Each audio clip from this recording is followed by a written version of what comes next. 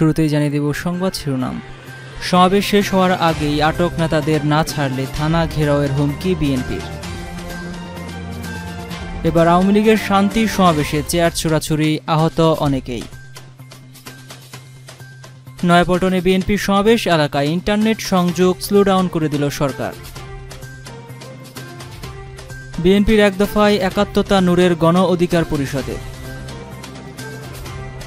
এবং সবশেষ থাকছে নির্বাচনের সময় তথ্য মন্ত্রণালয়ের ভূমিকা কি জানতে চাই ইউরোপীয় ইউনিয়নের প্রতিনিধি দল। এতক্ষণ শুনছিলেন সংবাদ শিরোনাম, এবার চলুন বিস্তারিত জানা যাক। রাজধানী নয়াপল্টনে বৃষ্টির মধ্যেই শুরু হয়েছে বিএনপির সমাবেশ। বুধবার দুপুর দুইটার দিকে কুরআন তেলোয়াতের মধ্য দিয়ে সমাবেশ শুরু হয়। সরকার পতনের এক দফা কর্মসূচি ঘোষণা উপলক্ষে বিএনপি এই সমাবেশ করছে। রাজধানীর নয়াপল্টন এলাকায় মূল সড়কের উপর স্থাপিত অস্থায়ী মঞ্চে ইতিমধ্যেই বিএনপি এবং দলের অঙ্গ সহযোগী সংগঠনের শীর্ষ নেতারা উপস্থিত হয়েছেন। সমাবেশ কেন্দ্র করে ইতিমধ্যেই কাকরাইল থেকে ফকিরাপুল পর্যন্ত এলাকা লুকে লোকারণ্য হয়ে গেছে। নেতারা সমাবেশে অভিযোগ করেছেন, সমাবেশের আগে অনেক নেতাকর্মীকে পুলিশ আটক করেছে। ঢাকা জেলা বিএনপির সভাপতি খন্দকার আবু আশফাক সমাবেশে বলেছেন, যাদের আটক করা হয়েছে, সমাবেশ শেষ হওয়ার আগেই তাদের ছেড়ে দিতে হবে। তা না হলে থানা ঘেরাও করা হবে। সমাবেশে দলের মধ্য, মধ্যসারির নেতারা বলেছেন, এখন থেকে প্রতিবাদ নয়, প্রতিরোধ করা হবে। প্রধান অতিথি হিসেবে বিএনপির মহাসচিব মির্জা ফখরুল ইসলাম আলমগীর বক্তব্য দেবেন। ঢাকা মহানগর উত্তর বিএনপির আহ্বায়ক আমানুল্লাহ আমানের সভাপতিত্বে এবং উত্তরের সদস্য সচিব আমিনুল হক এবং দক্ষিণের ভারপ্রাপ্ত সদস্য সচিব থানবির আহমেদ রবিনের সঞ্চালনায় এই সমাবেশ হচ্ছে।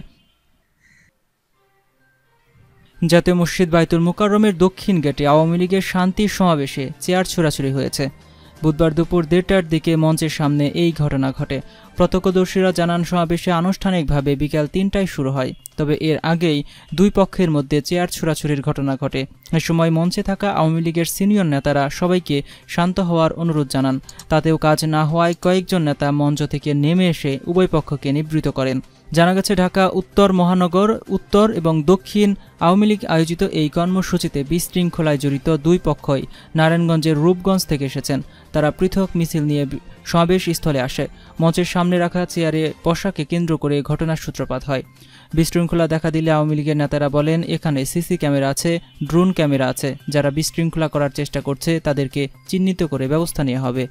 বিএনপি জামাত, সন্ত্রাস এবং নৈরাজ্য প্রতিবাদে শান্তি সমাবেশ বিকাল তিনটায় শুরু হয়। চলবে পাঁচটা পর্যন্ত। এতে আওয়ামী লীগের বিভিন্ন অঙ্গ সহযোগী এবং ভাতৃপ্রতিম সংগঠনের কর্মীরা অংশ নিয়েছেন। নারায়ণগঞ্জ, গাজীপুর সহ আশেপাশের জেলা থেকেও নেতাকর্মীরা এই সমাবেশে যোগ দিয়েছেন। রাজধানীর নয়াপল্টন এলাকায় মুঠোফোনে ইন্টারনেট সংযোগ পাওয়া যাচ্ছে না বলে অভিযোগ করেছেন বিএনপির নেতাকর্মীরা। মানুষের ভোটাধিকার আদায়ের লক্ষ্যে আজ বুধবার বেলা দুইটায় নয়াপল্টনের সমাবেশের মাধ্যমে সরকার পতনের এক দফার চূড়ান্ত আন্দোলনের ঘোষণা দেবে বিএনপি। সমাবেশে অংশ নিতে ইতিমধ্যেই নয়াপল্টনে বিএনপির হাজারো নেতাকর্মী জড়ো হয়েছেন। নয়াপল্টনে বিএনপির কেন্দ্রীয় কার্যালয়ের সামনে দুই পাশের সড়কে বিএনপি নেতাকর্মীরা জড়ো হয়েছেন। ফলে এই দুই সড়কে যান চলাচল বন্ধ রয়েছে। নয়াপল্টনে অবস্থানরত বিএনপির বেশ কিছু নেতাকর্মী দুপুর সাড়ে বারোটার দিকে প্রথম আলোকে বলেছেন, তারা মুঠো ফোনে ইন্টারনেট সংযোগ পাচ্ছেন না। তাই সমাবেশ নিয়ে সামাজিক যোগাযোগ মাধ্যমে কিছু পোস্ট দিতে পারছেন না। সংবাদ পাঠাতে গিয়ে এই প্রতিবেদক নয়াপল্টন এলাকায় ইন্টারনেট সংযোগ পাননি। এরপর সেখান থেকে কাকরাইল ক্যাথলিক, চার সংলগ্ন কাকরাইল মোড়ে গিয়ে ইন্টারনেট সংযোগ পাওয়া গেছে। গাজীপুর থেকে আজ ভোরের সমাবেশে যোগ দিতে রাজধানীর নয়াপল্টনে আসেন গাজীপুর জেলা ছাত্রদলের সাবেক অ্যাপোনিয়ন সম্পাদক মোহাম্মদ তাহসেন। তিনি বলেছেন, এখানে আসার পর থেকে ইন্টারনেট সংযোগ পাচ্ছেন না। রমনা এলাকায় গেলে পাওয়া যাচ্ছে, তবে মুঠোফোন শুধু কথা বলা যাচ্ছে।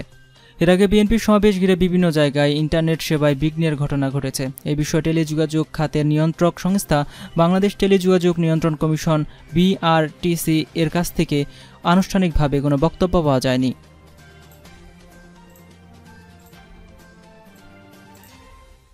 বিএনপির পাশাপাশি এক দফা কর্মসূচিতে সহমত পোষণ করেছেন দলটির যুগপথ আন্দোলনের সঙ্গী গণ অধিকার পরিষদ। অন্য সঙ্গীরাও পৃথক সংবাদ সম্মেলনে সম্মেলন করে ঘোষণা দেওয়ার কথা রয়েছে। বুধবার বিকেল সাড়ে তিনটায় জাতীয় প্রেস ক্লাবে সংবাদ সম্মেলন করে এক দফা কর্মসূচিতে সম্মতির কথা জানান নুরুল হক নুরের নেতৃত্বাধীন গণ অধিকার পরিষদ। দলটির সভাপতি এবং ডাকসুর সাবেক ভিপি নুরুল হক নূর বলেন, এই সরকারের অধীনে কোনো সুষ্ঠু নির্বাচন সম্ভব নয়। সম্মিলিত আন্দোলন করে এই সরকারের পতন ঘটাতে হবে। সুতরাং আমরা গণ অধিকার পরিষদের পক্ষ থেকে বিএনপির এক দফার সঙ্গে সহমত পোষণ করছি। এ সময় গণ অধিকারের নতুন কমিটির নেতারা উপস্থিত ছিলেন।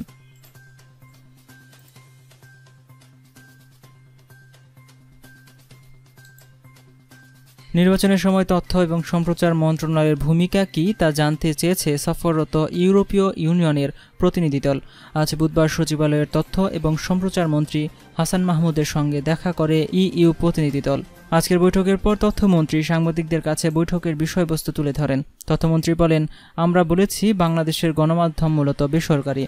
সম্প্রচারে থাকা পঁয়ত্রিশটি বেসরকারি টেলিভিশন আর একটি বিটিভি। আমাদের চ্যানেল, চ্যানেলগুলোতে বিশেষ করে সামাজিক সামাজিক মাধ্যমে যেসব গুঞ্জন ছড়ানো হয় বা সময়ে সময়ে গুজব তৈরি হয়েছে, তাতে দেশে হানাহানি তৈরি হয়েছে। এই চ্যানেলগুলো নিয়ে আলোচনা হয়েছে।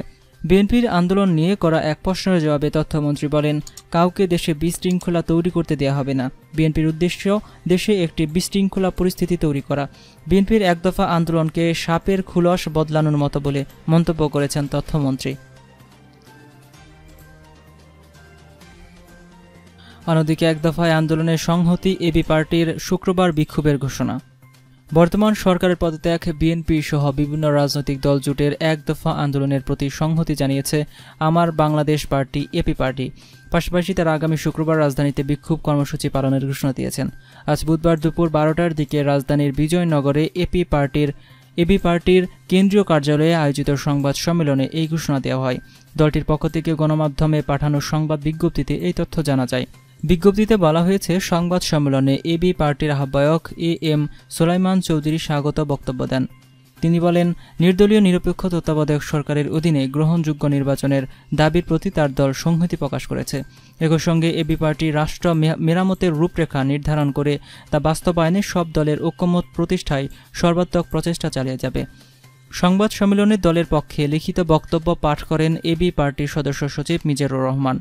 তিনি এক দফা আন্দোলনের প্রতি সংহতি জানিয়ে চোদ্দই জুলাই শুক্রবার রাজধানীতে বিক্ষোভ সহ আন্দোলনের কর্মসূচি ঘোষণা দেন।